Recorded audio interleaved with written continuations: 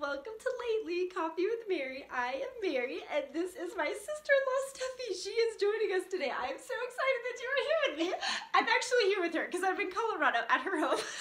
we came here for the Christmas, and um, we've just been here for three weeks. It's been amazing. But I'm really happy to share her with you because she is like the biggest treasure of a friend that you could ever want. Like, I married her husband not knowing her, and holy cow, was she like the best gift in the world because she just came with him and it's like my best friend I never knew I always wanted. Like and she's full of wisdom and biblical knowledge. She is just like depths, depths of just godliness and I'm really happy that I get to share her with you because she has been doing something the last four years that is incredible. Um, God has just walked her through a season that was really difficult and she has been willing to open herself up to the rest of the world through that difficulty to help other people be pulled out of that pit that she was in. And um, it came through her marriage and through something that me and my husband would have never imagined would happen to them because they had just an amazing marriage like we've since the beginning of our marriages have become um, accountability part- partners for each other and i highly recommend that people do this it was a huge decision that we made before we had kids that we're like man we really want someone that we love and trust to mm-hmm. speak into our marriage and that knows us both and wants what's best for both of us. Mm-hmm. And they were the couple that we wanted to do that for us because their marriage was so good. They'd been married a year longer than yes, us. right? Yeah. And so, and we just really admired them and looked up to them. So we're like, yes, we want to be accountability partners with you. And so throughout the first, like, how many years was it? like eight years. Eight years. It was a great avenue for both of us mm-hmm. to call each other when we were having an argument or a fight with our spouse. And rather than running to someone that's just going to stroke our ego and tell us that we're right and that our husband's an idiot or whatever. Mm-hmm. It was someone that was like, actually, maybe you should look at yourself. Like, how were you wrong in that scenario? And have someone that really wanted what was best for both of us. And so we had that for those eight years. But she's military. Her mm-hmm. husband's in the Air Force, so they've moved all over the world, or the U.S., I guess, not the world. not yet. not yet. Hopefully not. But um, they've moved around a lot. And during the season that um, this particular thing was birth. I'm going to share it with you now because it is awesome. It is called Becoming Warrior Wives. And um, she did this with one of her dear friends, Britnie. And it came out of a really um, unique season in both of their marriages. And so I want to hear, I want you all to hear her heart on this because I could try to relate it to you, but it comes way better out of her beautiful mouth. So I want you to hear it straight from her and to hear just why this could be such an awesome tool for you to have in your marriage, no matter how long you've been married. If you've never, if you're just beginning to be married or you've been married for many years, um, they were eight years into their marriage yeah. when she started doing this. And um, it's just an awesome tool. And so I want to share with you just like the, what it, how they describe it. It is a listening prayer study, inviting God to radically transform your marriage through faithful prayer. And it's just super cute journal. And I would love for Stephie just to share with us um, how or what was the season like when this was birthed? Like, what was the season in your marriage like? Yeah. So when this initially um, began for me. I didn't have this particular tool, um, and I actually was honestly blissfully unaware of um, kind of the the dysfunctional season that we were in, yeah. and um, I kind of I was probably in a bit of denial as to what we had, where we had kind of dug ourselves. Yeah. And it was at that moment in time when uh, a lady from our church started a Bible study and invited the young young wives to join. And it was we were reading through um, a Christian marriage book together, but. As we started the study, she asked us each to get a journal and to write out prayers every day, yeah. whether it was a sentence or a paragraph or a whole page, to just start writing out prayers for our husband every day. Yeah. And then when we'd meet together, she'd have prepared questions for us to ask the Holy Spirit um, in regards to our marriage or ourselves, yeah. and or our husbands. And I remember the very first question. Um, so maybe we had been journaling a week. We got our journals. We came back and um, she asked us to ask the Holy Spirit how we had contributed to the dysfunction in our marriage. And that really woke me up to the reality that there was dysfunction and that we were actually walking in quite a bit of um, unhealthy patterns. Yeah. And um, it was the first awakening to the to, to the fact that we were not in a healthy place. Yeah.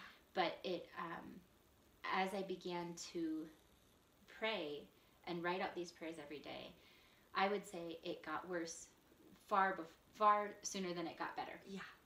And we um, I just really had that to cling to uh, because I in that first time when we were asking the Holy Spirit questions, I remember him speaking specifically and really poignantly that um, he had allowed us to have a really healthy beginning, Yeah. but that he was going to, he was going to allow it to kind of unravel Yeah. so that um, he could rebuild it to be more healthy and to be um, even better than what it was before, but that it was going to be broken before it was rebuilt. Yeah, Which is true of all things, right? Yeah. Like whenever If it's So- if it's not functioning, you have to take it you down. gotta start from scratch. Yeah. And that can be really challenging and really hard, especially when your marriage was so good. Yes. In all of the eyes of anyone that would have saw them, they would have thought their marriage was amazing. Like you would have never known that these deep rooted things were happening and stirring in both of their hearts Mm-hmm. yeah. and slowly deteriorating Yeah. what God had initially intended for them. Mhm. And I think a lot of it was built on self sufficiency in the Mhm, beginning, mhm. of a willfulness to do it well and to do it right. Mhm. And he was saying basically, I've allowed that to work, Yeah. but that's not my best. My best is that I sustain it. Yeah. And so we need to take down all of these things and all of these selfish things that are underneath a lot of these things, Yeah. that a lot of these ways you're functioning and relating to each other, they need to be stripped away. Yeah. And um, that's that's what began to happen as I began to pray. Yeah. And I didn't know exactly what that would look like, but um, I think it would suffice it to say it was really painful Mhm. and really uh, heart wrenching. To it was like everything we had before was gone, and I didn't know what was happening or how to fix it except to pray.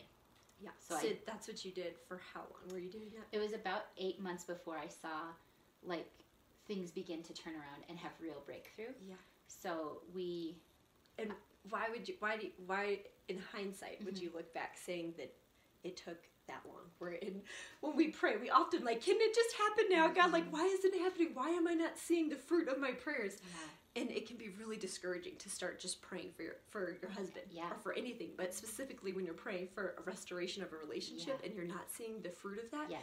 It can be so discouraging. I don't know if anyone listening is in that place right now where you've been praying for your marriage or you've been praying for your relationship and it's not changing and it's really discouraging. So, in hindsight, what did you feel like God was speaking during that time that Yeah. you didn't know it was happening that at I that time? know. Yeah, a lot of it was he had to let me sit and recognize the pain Mhm. because um, as we were writing this, Britnie, I remember right, she wrote something really poignant, um, and she said, "You can't walk into hope and healing until you first recognize and acknowledge that you're in heartache and hopelessness." Mm, yeah. So he had to awaken my senses, in a sense, um, my emotional senses, to the fact that I was actually deeply hurt, and he wanted he didn't want to just fix the marriage. He wanted to heal those deep pains and hurts, and so um, part of what we had to do is the Lord and I is we had I had to be really raw and vulnerable, and I had to put a voice and words to what I was feeling and walking through. Um, and in that moment, he right away wanted to begin to heal what was so painful. Yeah. And so um, that was a piece of it is walking into the healing. Mhm. Um, I just it was it was a, it was a really intimate time with the Lord because in the ways that I didn't feel seen in my marriage, um, He was so affirming to me that I see you. Yeah. I see you. I see what you're going through. I see Mm. your heartache. I see the effort you put in, but it didn't go anywhere. I see Yeah. just feeling seen by Mhm. the Lord Mhm. made everything else not matter. Yeah.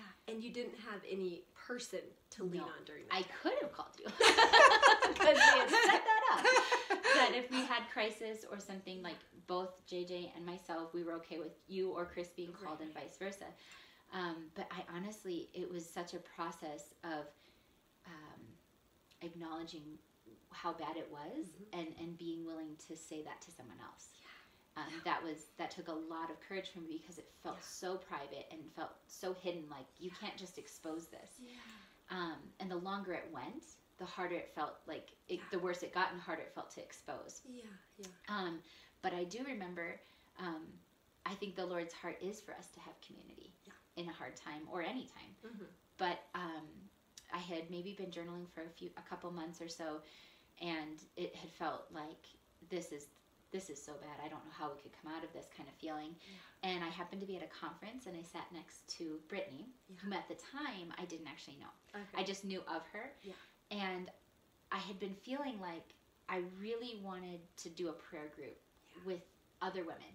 Yeah. And then I thought maybe I won't feel so alone in praying for this, but they don't have to know all the details. Yeah, yeah. So this kind of this little spark had been planted Mm-hmm.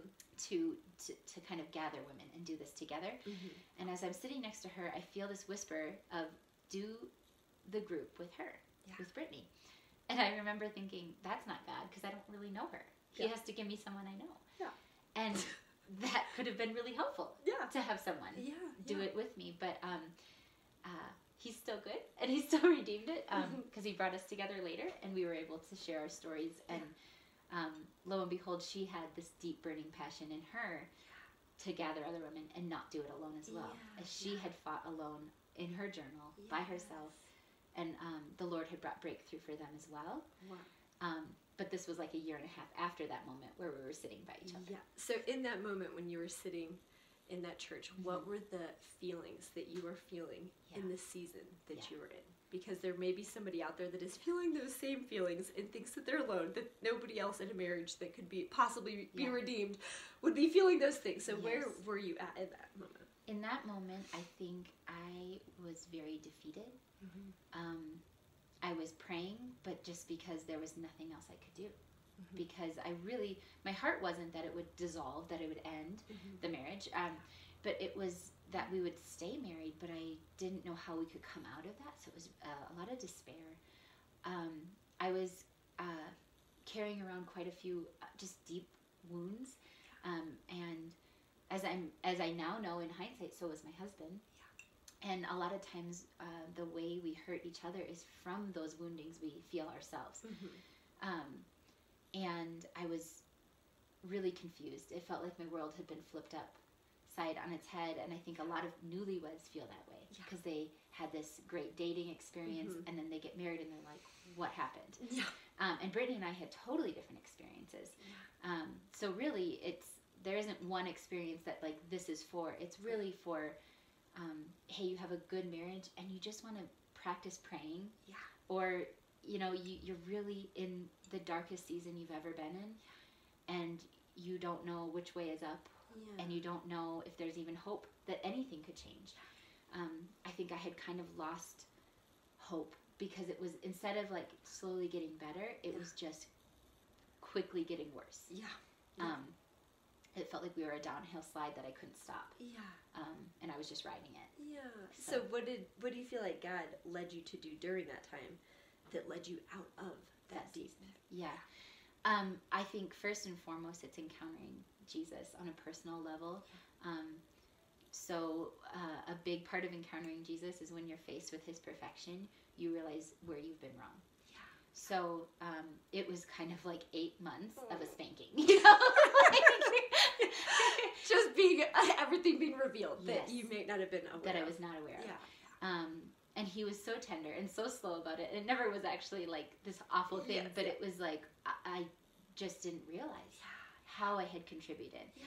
Um, and so little piece by piece, just showing me where I needed to repent with him, and then going to my husband as he's re- revealing it to me. Hey, I want to apologize because I feel like the Lord's showing me this led to this, and I did this in this way, um, or my response was incorrect or whatever. Mhm. Um, so definitely repentance was big. Yeah. Um, you ha- uh, I had to go into it with a humility that I didn't, I hadn't walked in quite as much Yeah. before. Man, isn't that just the truth of marriage? Like, it is the most humbling experience of your life Oh, yeah. being married to another person because you go into marriage. We talked about this the other night, like how you just feel like all of your ways are the right Yeah, way because right. you've wrong. just been able to do whatever you wanted your whole life. And now you had parents and siblings, but they did what they wanted, and you still got to do what you wanted to do. But then when you're married to someone, like, you really have to compromise and you have to humble yourself and recognize things that we're doing that Yeah. can be hurtful. And oh man, it is.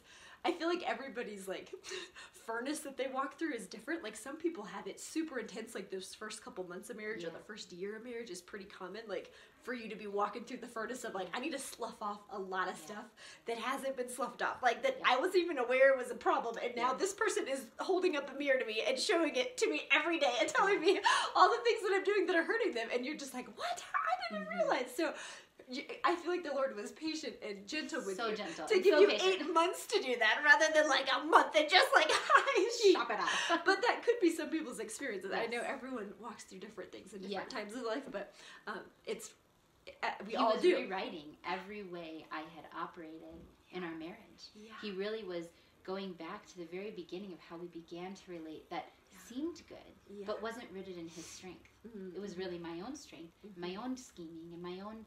Ways of how we can make a good marriage. And he's like, I need to be the strength. I need to be the center. I need to be the source. So, what was the vision that he gave you that you shared with me the other day about The you encountering- holding him, Oh, oh, yes. his ankles? So when Yeah, that that first question that I had asked the Lord of how I had contributed to the dysfunction in our marriage, um, I as he's speaking these things, I was seeing a picture of uh, like the throne and Jesus sitting on it, and then JJ was like grabbing, trying to grasp at Jesus' feet, but was just shy of it, and then I was holding onto his ankles. Mm. And what he was saying is like you trying to scheme and plan and um and like oh we're gonna do this Bible study or let's go to this church or Mhm. let's pray now. Like it wasn't bad things, but it was my own effort, my own ideas, my own um Initiative. my own initiative. Yes. And he's like um and then it, the next question that we were supposed to ask was like how um how how does he want you to relate instead? Okay. And the next picture I saw was me on my knees praying, and and um, I, uh, he was able to actually just be fully wrapped around Jesus's legs, and there was no distance between him and Jesus because of any of my own schemings, and so um, I was able to actually recognize that like the way we were going to change things was through me simply praying and releasing him to. to This is what happens when you're in a house full of people and there's just lots of interruptions. There's only 14 people there. yeah, we've kept them away for as long as we can. Hopefully they don't start coming. Just start wandering in. I'm just waiting for it. oh, oh, never mind. Okay. this is our life. It's okay. Okay, continue. True story. True Okay. story. but yeah, so it was what he was saying is the breakthrough of of of JJ actually really being able to encounter encounter Jesus in a personal, intimate, private way mm-hmm. is going to be when I release him through prayer and like pray him to Jesus instead of shove him to Jesus. I don't know anyone that does that. That's No. not what women do. We No. don't try to make them do anything. No, no. oh man, that's such a common common thing within a marriage because so often the woman is the one that's really tender and soft-hearted towards the Lord. Yeah. So we are easily gravitating towards God from childhood and then even in like our 20s when we become mothers that typically will if you haven't already had a relationship with the Lord that might be when you do. Yeah. But it's harder for men to have that softening of their heart, so oftentimes it doesn't happen at the same time as it does for the woman, and it can be really hard in a marriage when you don't feel yeah. like you're in the same place and that Yes. you're as close to the Lord as you want to. be. hmm Exactly. Yeah.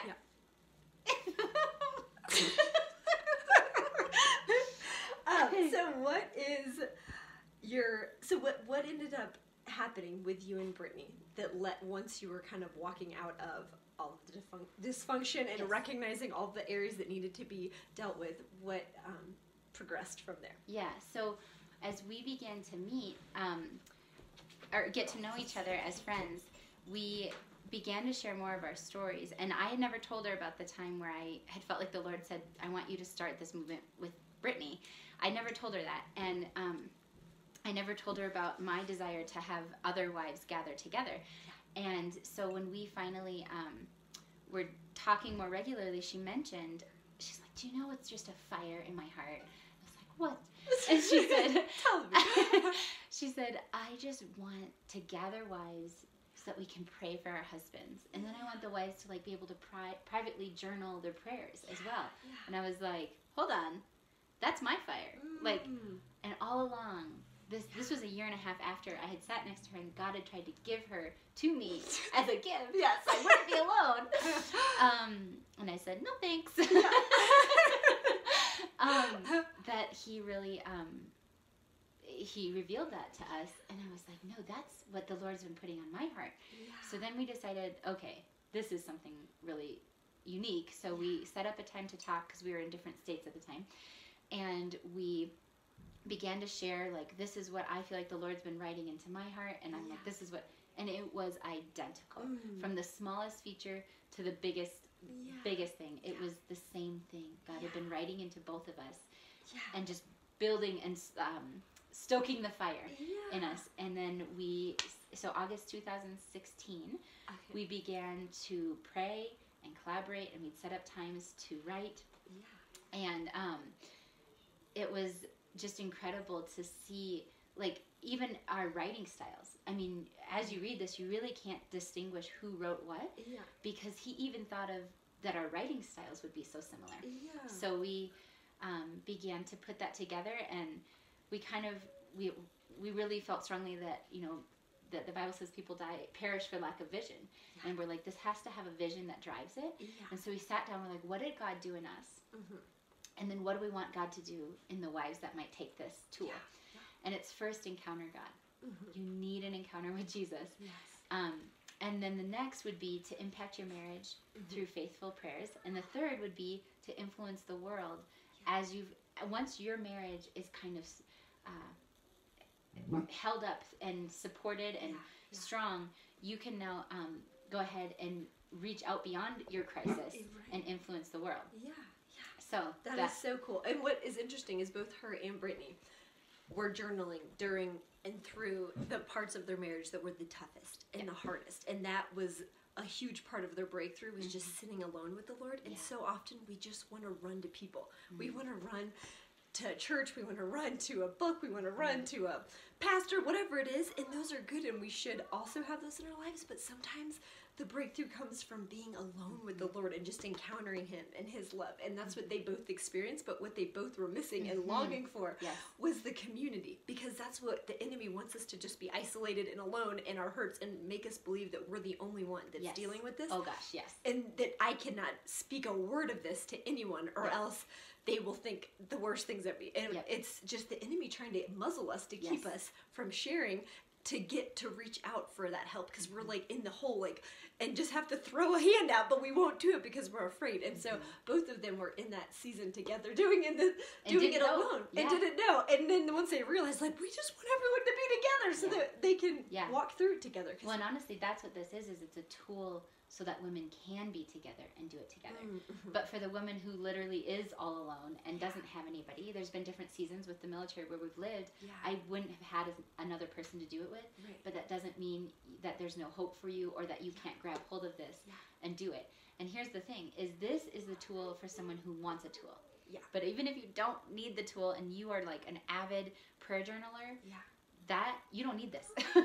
Honestly, just Yeah. get a journal and start faithfully writing out prayers. Like but if you don't, if you've never sat and prayed, this is amazing because she really like tells you exactly what to do, and it's very like step by step, and it walks you through it in a way that gives you words to speak. Because sometimes before the Lord, we just feel like we have nothing to say, and we don't Mm-hmm. Even know where to begin. So she really helps to give you like an avenue, like you can go this way, you can go this way, and she kind of gives you words to like prayer prompts. Kind yeah, of. prompts to kind of help you through it and a ton of verses and just good like inspiration for different areas of your marriage that you might be struggling with and so Mm-hmm. it is a phenomenal tool and it's definitely something that you can start here and then just continue the method and the model Yes, that they set up it's more of like training wheels for Yes. praying Yeah. and prayer journaling and like Yeah. being before the lord and kind of giving you a way of continuing to do that your whole marriage because no matter where we are in our marriage there's always if we don't sit before the lord and ask Mm-hmm. him to search us we're going to come to another place where everything's going to be stripped away so that we do that and so if we're just continuing to do that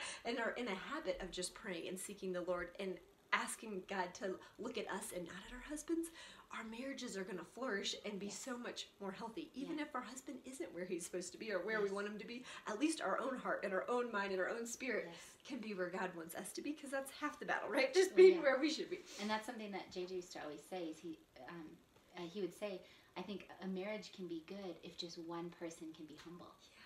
And I think it can be even better when one person's humble and the Holy Spirit is intervening. Yeah. Um, and I think something that um, I feel and Britnie feels because there, we were both in just really dark seasons in our marriage when the Lord the Lord stepped in. Yeah. And um, there's no circumstance too dark. There's no marriage too far gone. There's no betrayal um, too deep that the Lord's love and redemption and power um, and miracles can't step in and intervene and redeem completely. I mean, the prayers I prayed for, no, it was longer than four years ago. It was six years ago. Mm. I still see the fruit of those things being um, responded to by the Lord Mm. um, in in our marriage and in our relationship. Yeah. And in the moment when I was writing them, I just was hoping they were getting to God's hands, you know, Yeah. and knowing now with confidence Mhm. everything I prayed, everything I put in those pages landed at the feet of a God positioned to respond. Yeah. And um, and at the same time, I think what I learned through the process of praying Mhm. was more important than the actual prayer. Yeah. I learned that perseverance Mhm. is the key, and that sometimes God wants to take us on the journey of seek and like us seeking and pursuing Him. Um, the Bible says that it will, you um, seek me and you will find me when you seek me with all of your heart. Mm, And when the and then um, uh, the other verse where it says to Not. not uh, seek and you will find, Yeah. knock and the door will be open to you. And sorry, it's ask and you will Yeah, ask and you will receive, seek and you will find, knock and the door will be open to you. Yeah. Um, it's not a one knock and then Yeah. well he didn't answer. Yeah. It's not a ask once and then go away. Yeah. Um, it's and it's not like I looked and he's not here. yeah. It's seeking and pursuing and knock, knock, knock, knock, knock, knock, knock, knock, knock, knock, knock, knock, knock, knock, knock, knock, knock, until he answers, and ask and ask and ask and ask and ask until he answers, because sometimes he's about being pursued. Mhm. He wants the pursuit of the prayer, and if he just gave it to us, we'd be done. Mm-hmm. It's true. Yeah. So That's so good, and that's such. That's just a beautiful picture of the love of God that He is so willing to answer the prayers and that He hears every prayer because He heard all of the prayers that she had written down and they have been answered tenfold. Like you Yeah. would not believe their marriage now in the season that they were in. Like if you were to look in yeah, just how they're operating, you would have never thought that they had the beautiful marriage that they have today, like or that they could. Like Yeah. it just would have seemed like there's no way, like that would change to this. And God's redemption is just so powerful, and Yeah. He's so good. And I'm just so proud of you for sharing all of your things because I know that's really vulnerable and hard to talk about things that are so intimate to your heart. And I just am so thankful that you shared that with me and with whomever else is watching. And um, we just wanted to take a moment and pray with you. Um, I would like for you to pray for I all of them. and then I will see you soon. We are getting some crazy light happening in here. Like our, our setting is the Holy Spirit. the Holy Spirit is shining down. Okay, so we'll let Stephanie lead us out. Okay. Jesus, I just lift up each and every woman who might stumble upon this video. I just ask, Lord, that you would be real for them, that your presence would be tangibly felt by them, that your love would um, envelop them and cover them, that despite what tenderness or love is coming to them from their husbands, Lord, that they would feel the immeasurable um, love um, and the constant presence of your Holy Spirit with them. That is far greater than any love or presence from a husband, that they would feel seen and known and loved. Um, and I pray specifically for the woman who feels hopeless and desperate, um, that she feels like the time the time is ticking and it's just going to end or it's just there's no hope for it to change lord. I pray that you'd speak something powerfully into her heart right now jesus. Um, release hope over her in jesus name. And um, i just ask that um, just for each woman that's listening that they would know their value and their worth and how precious they are to you jesus. Yes. and i ask these things in jesus name Amen. Oh, I am so happy that I get to have tea with you. This is literally how we would just sit and talk. And so I'm so glad that you guys get to get a piece of little stuff because she's such a gem.